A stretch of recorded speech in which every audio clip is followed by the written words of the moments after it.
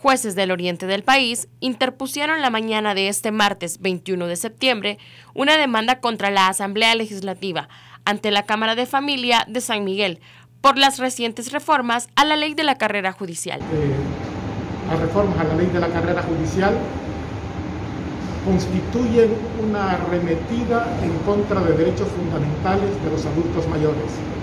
En esta demanda lo que estamos solicitando son medidas cautelares urgentes con el propósito de que los magistrados de familia suspendan la vigencia de las reformas inmediatamente. Blanco explica que los jueces que tomen los cargos carecerán de legalidad, ya que no se han sometido al debido proceso y carecerán de respaldo constitucional.